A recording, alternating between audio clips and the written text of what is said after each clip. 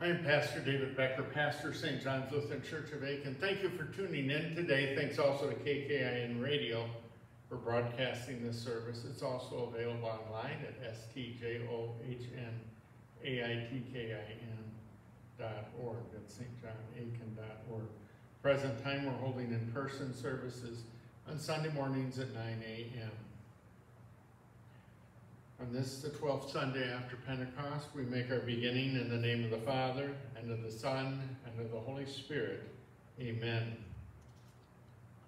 Beloved in the Lord, let us draw near with a true heart and confess our sins unto God our Father, beseeching him in the name of our Lord Jesus Christ to grant us forgiveness. Our help is in the name of the Lord, who made heaven and earth. I said, I will confess my transgressions unto the Lord, and you forgave the iniquity of my sin. We now confess our sins. O Almighty God, merciful Father, I, a poor, miserable sinner, confess unto you all my sins and iniquities, with which I have ever offended you and justly deserved your temporal and eternal punishment.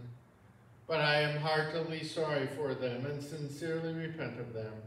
And I pray you of your boundless mercy, and for the sake of the holy, innocent, bitter sufferings and death of your beloved Son, Jesus Christ, to be gracious and merciful to me, a poor sinful being. Upon this your confession, I, by virtue of my office as a called and ordained servant of the word, announce the grace of God unto you, and in this stead and by the command of my Lord Jesus Christ, I forgive you all your sins in the name of the Father, and of the Son, and of the Holy Spirit. Amen. The Lord is the strength of his people. He is the saving refuge of his anointed.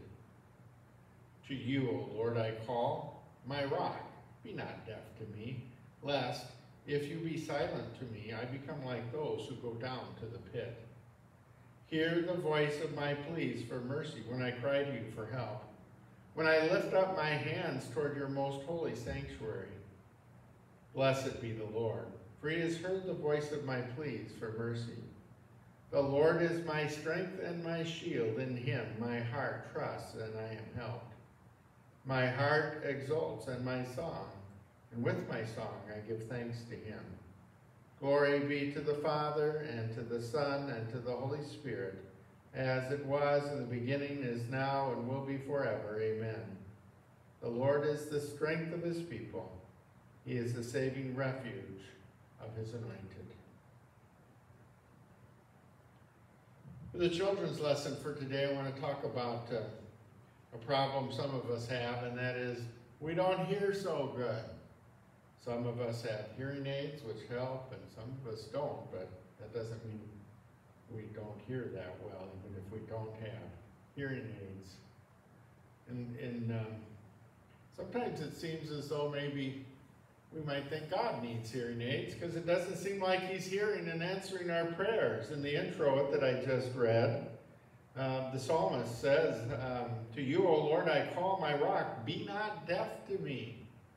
Yes, there are those times when it seems as though God isn't hearing us. He doesn't seem to be answering the prayer, our prayers, at least in the way we want them answered. But the psalmist goes on to talk about how the Lord does hear.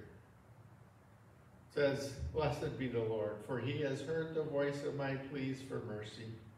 The Lord is my strength and my shield, and in him my heart trusts, and I am helped.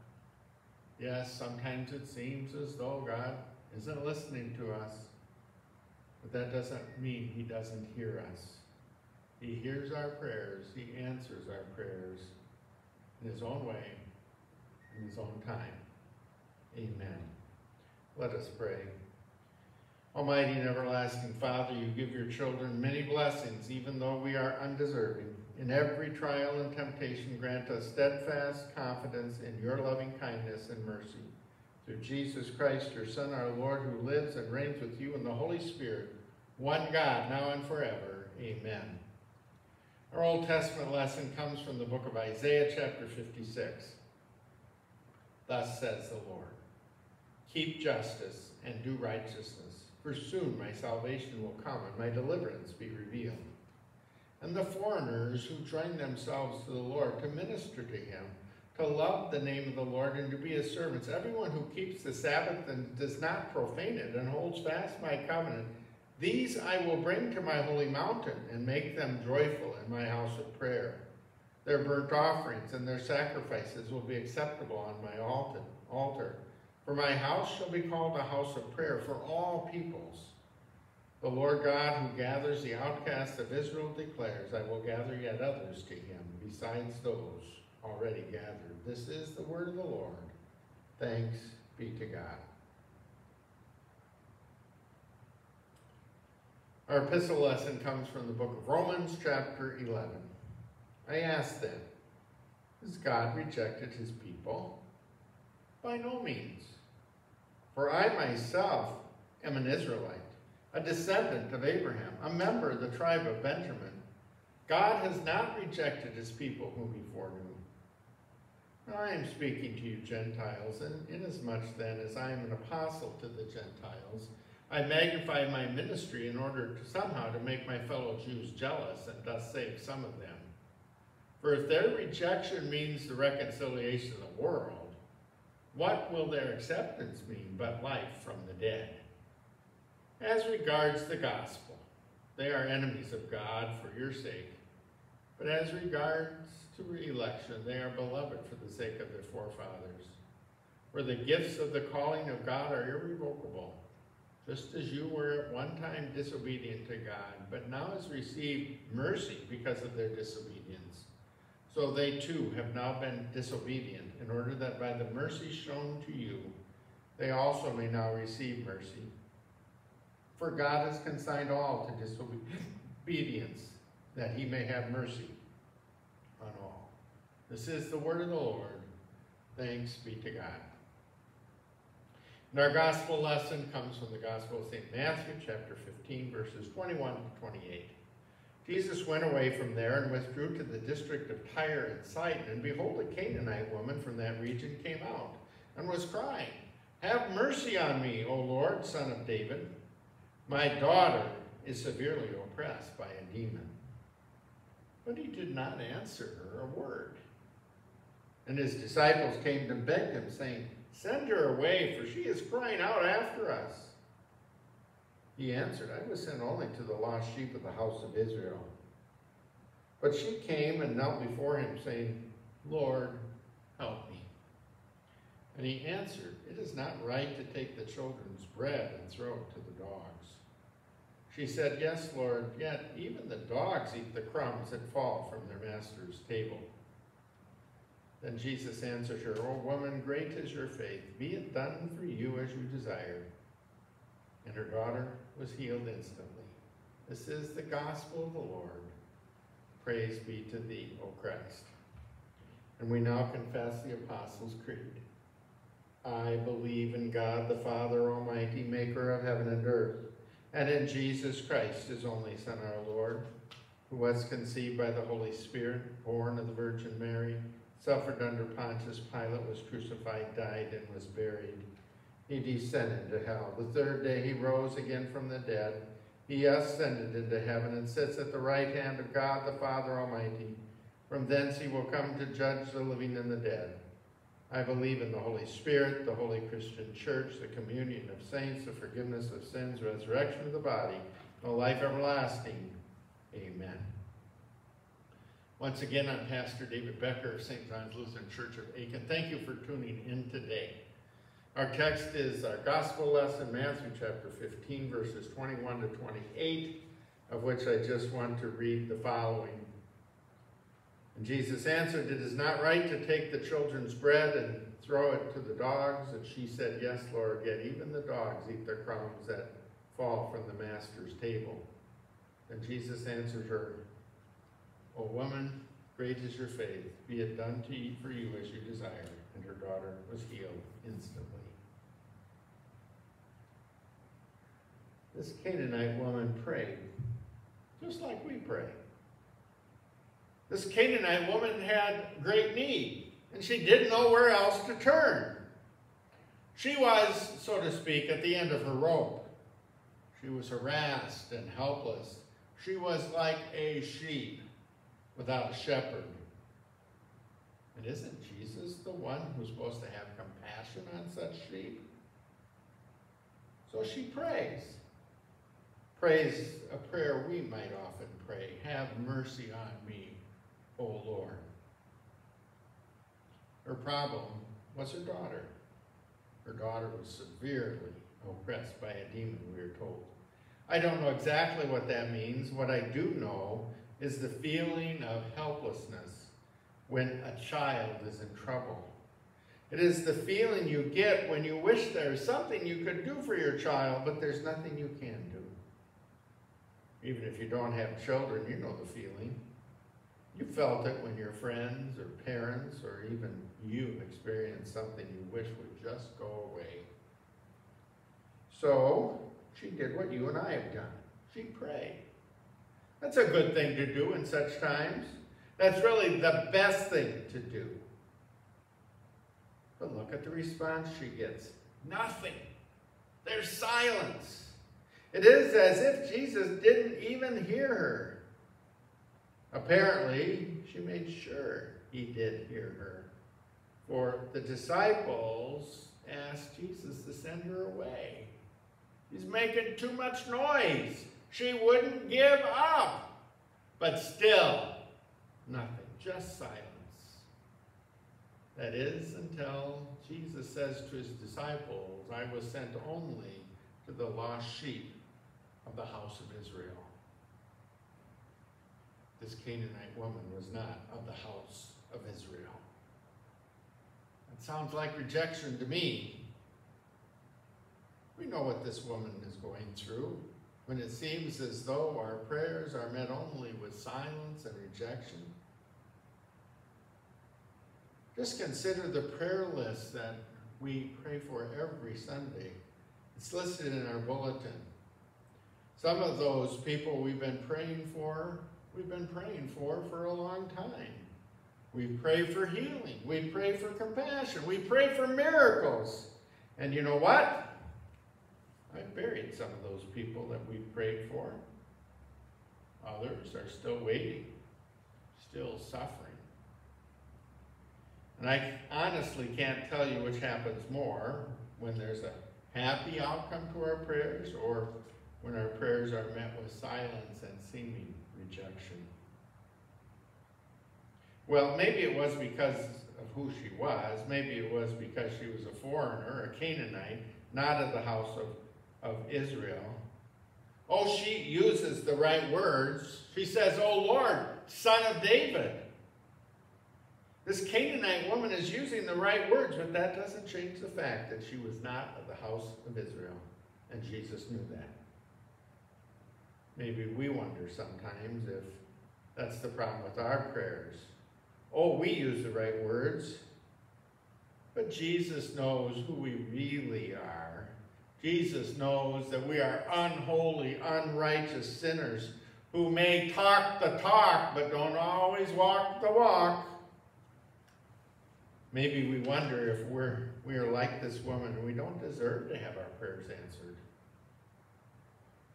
Well, despite the silence, despite our doubts, despite the rebuke, this woman keeps on praying. No more pretense. She may not know what's going on or why Jesus is doing what he's doing.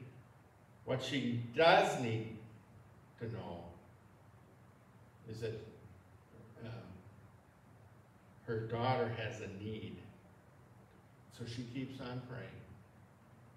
So she falls on her knees, maybe goes all the way to the ground with her face to the ground and cries out, Lord, help me. Now, at this point, if you're like me, you're thinking, okay, that's long enough. She's proven her faith. She's persevered. Now Jesus will help, we think. But instead, Jesus says it isn't right to take the children's bread and throw it to the dogs. What an insult! It all goes to show that there's nothing about this woman that would cause Jesus to want to help her. In no way does she deserve it. And you know what? That's true for you and me too. We shouldn't wonder why some prayers get answered while some seem not to be answered. Well, if we want to wonder about something, what we should wonder about is why should God care about us at all?